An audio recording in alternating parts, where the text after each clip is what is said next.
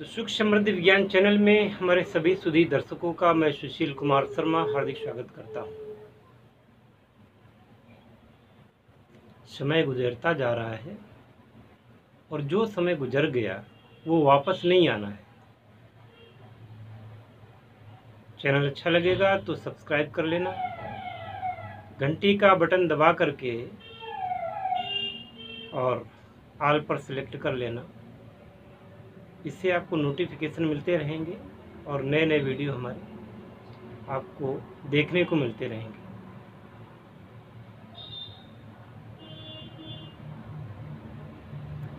आप बताएँ कि अगर आपके लिए मैं ये अच्छे अच्छे वीडियो बनाता हूँ तो आपका भी कोई कर्तव्य बनता है। वो कर्तव्य बनता है शेयर करने का। मैं कहता रहूँगा, आप सुनते रहेंगे, उस पर क्रिया नहीं होगी तो उसका लाभ क्या होगा? जितने वीडियो बने हैं, लगभग मेरे वीडियो इस समय छः सौ पचहत्तर के ऊपर तो हो ही गए होंगे।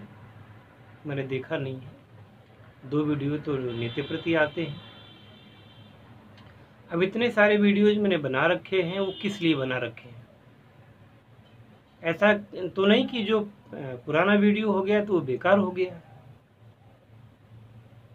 आपको पता होना चाहिए कि मैं अपने चैनल में ऐसी ही कंटेंट डालता हूँ, ऐसे ही वीडियो बनाता हूँ, जो सर्वोपकारी हों, सबके लिए लाभदायक हों। और आपको पता है कि ऐसे ही वीडियो मैं इसमें डालता हूँ कि जो हर व्यक्ति के लिए उसके जीवन से जुड़े हों डायरेक्ट उसको लाभ देने वाले हों डायरेक्ट उसकी परेशानियाँ दूर करने वाले हों डायरेक्ट उसको उसकी खराब परिस्थिति से निकाल करके अच्छी परिस्थिति में ले जाने लायक हों, ऐसे उपायों की चर्चा, ऐसी साधनाओं की चर्चा, ऐसे उद्योग की चर्चा, ये मैं किया करता हूँ। परंतु अगर उसे आप लाभ नहीं उठा पाते तो इसमें मेरा दोष नहीं है। आपको लाभ उठाना चाहिए। और हमारे कुछ ऐसे दर्शक हैं, मैं नाम लेना चाहूँगा। बिहार से मनोज कुमार जी हैं और एक कानपुर से अशोक कुमार गुप्ता जी हैं, जिनके लगातार कमेंट आते हैं और ऐसे लोग हमारे हर पुराने वीडियो को भी देख रहे हैं।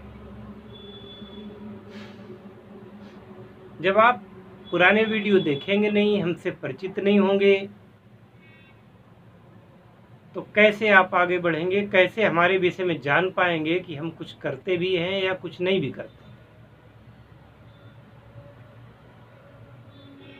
हमारे बारे में क्या आपको जानकारी मिलेगी कि हम क्या क्या कर सकते हैं? क्या क्या करना चाहते हैं?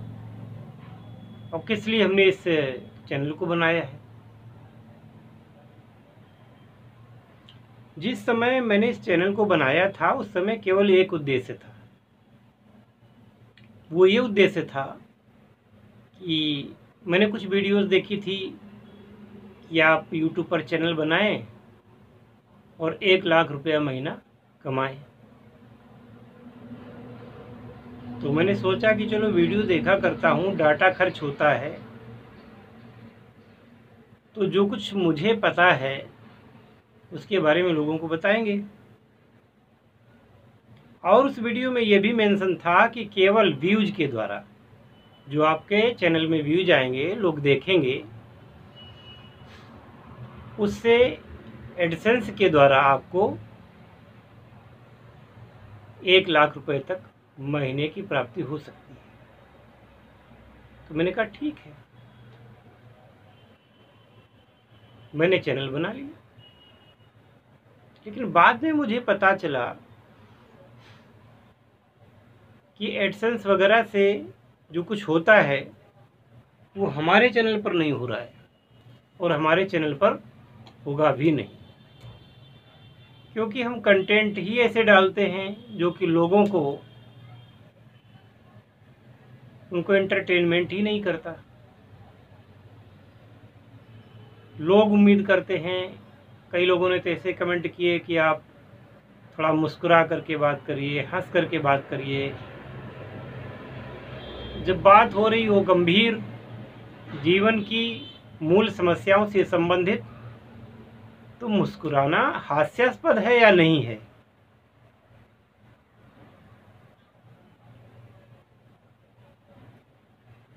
ये सोच करके फिर मैंने कहा, चलो, कोई बात नहीं।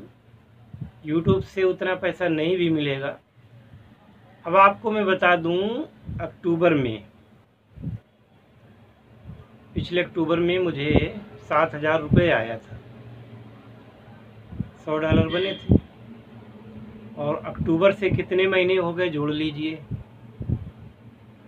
तीन महीने वो पाँच महीने ये आठ महीने हो गए। इन आठ महीनों में यूट्यूब से मुझे मेरे उसमें केवल तीस डॉलर दिखा रहा है।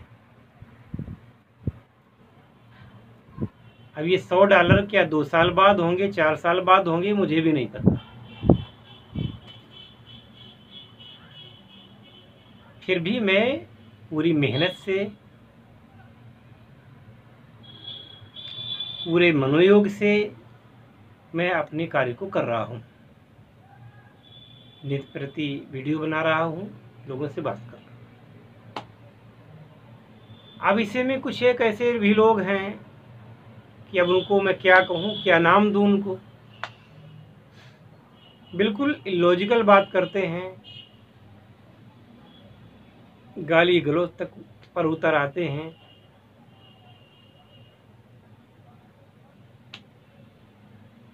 कमेंट में भी हो सकता है कर दें और डायरेक्ट भी, फ़ोन करके भी। तो उन लोगों से यही कहना चाहता हूँ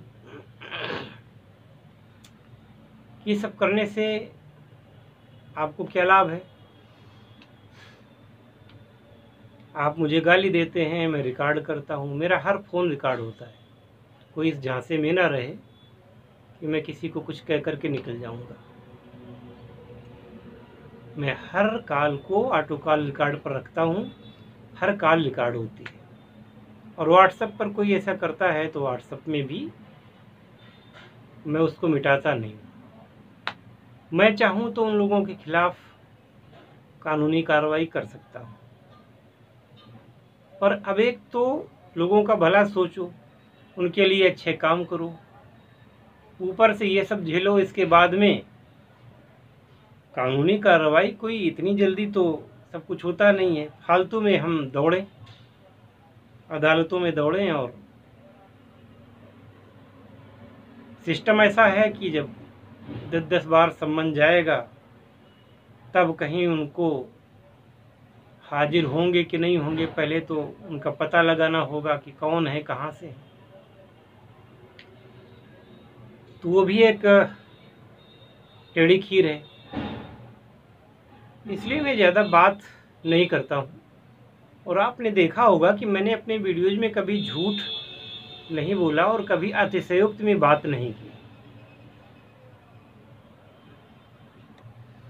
विगत पंद्रह वर्षों से मैं एक समाचार पत्र का संपादक हूँ। तो मुझे अच्छी तरीके से मालूम है कि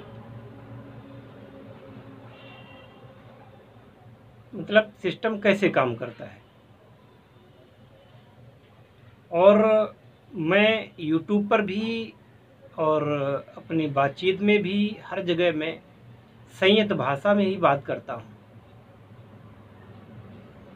और कोई गलत जानकारी मैं नहीं देता। फिर भी अगर लोगों को ये लगता है कि आप गलत जानकारी दे रहे हैं तो मैंने लिख ही रखा है। इसके बारे में आप हमारे चैनल में जाइए अबाउट सेक्शन में।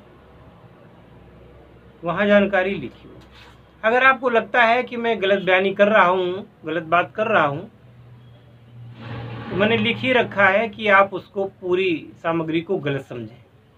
हम ये आपको कहाँ तक विश्वास दिलाते घूमेंगे कि जो कुछ हम कह रहे हैं वो सही कह रहे हैं? विश्वास नहीं आता है तो उसका कोई इलाज नहीं है। और हम किस किस को विश्वास दिलाते घूमेंगे?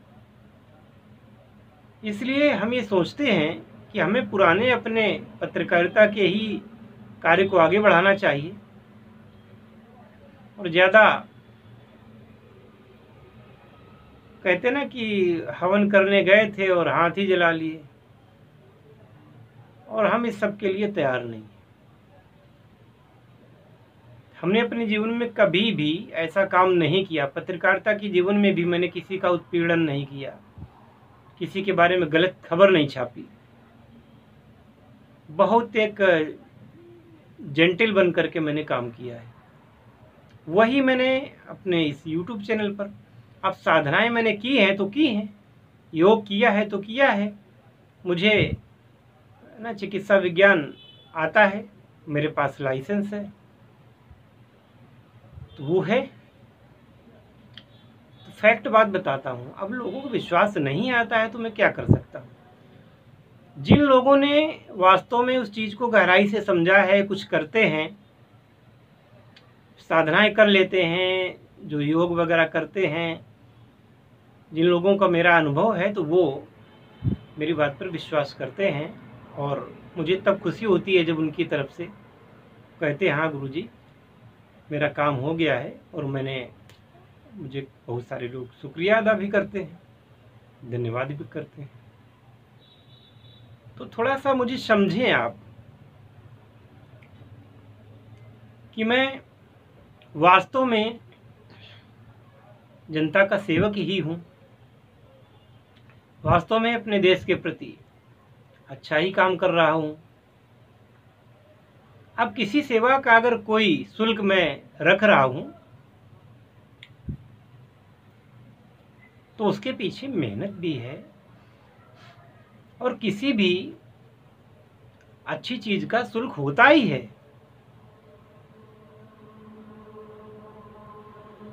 अब आप किसी कॉलेज में दाखिला लेते हैं, क्या वहाँ पूछते हैं कि गुरुजी, या कॉलेज में कि सर हम दाखिला तो ले रहे हैं, पर क्या मैं पास ही हो ही जाऊँगा? अब वहाँ पर अगर ढंग से पढ़ाई करेंगे अच्छे ढंग से आप पेपर करेंगे, सही लिखेंगे तो आप पास क्या होंगे? आप टॉप करेंगे?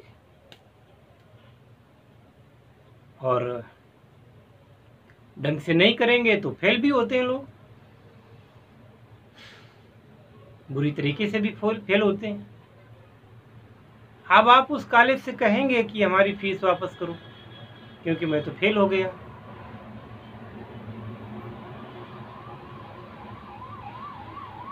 ऐसा नहीं होता है। तो कृपा करके अबाउट सेक्शन को भी देख लिया करें और अगर विश्वास ना आए, लड़ने की बजाय गाली गलौज करने की बजाय, आप चुपके से अनसब्सक्राइब कर दें और किसी दूसरे ग्रुप को पकड़ लें, किसी दूसरी जगह आप अपना टाइम व्यतीत करें। मेरा तो ये ध्येय रहता है कि आप लोगों का कुछ भला हो।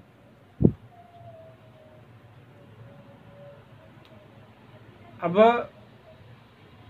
कहीं पर भी होता है, सबसे ज़्यादा फ़ायदा उपभोक्ता का ही होना चाहिए, होता भी है। आप जिस चीज़ को खरीदते हैं, उसमें आप टैक्स भी देते हैं।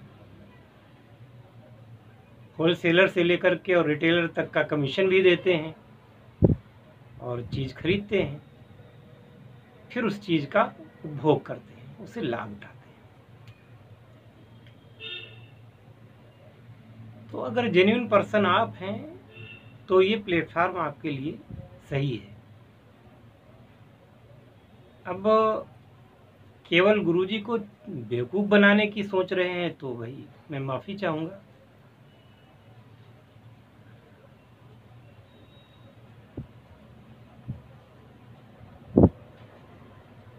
ये सब बातें यूट्यूब पर मुझे कहनी नहीं चाहिए, परंतु कहना पड़ता है। ठीक है, मिलते हैं अगले वीडियो में। ये भी ज़रूरी था। जय शिव शंकर जय भोलेनाथ, हर हर महादेव।